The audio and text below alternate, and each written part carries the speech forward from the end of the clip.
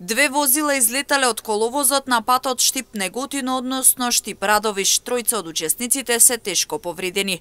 На 15 септември во 22 часот и 10 минути во секторот за внатрешни работи Штип било пријавено дека на магистралниот пат Штип Неготино патничко возило Volkswagen Golf со кавадаречки регистерски ознаки, управувано од 27 годишниот БД од Кавадарци, излетало надвор од коловозот. Во несреќата со тешки телесни повреди повреди се здобил возачот БД и неговиот сопатник ХС 18 години од Кавадарци, констатирани во градската општа болница Велес.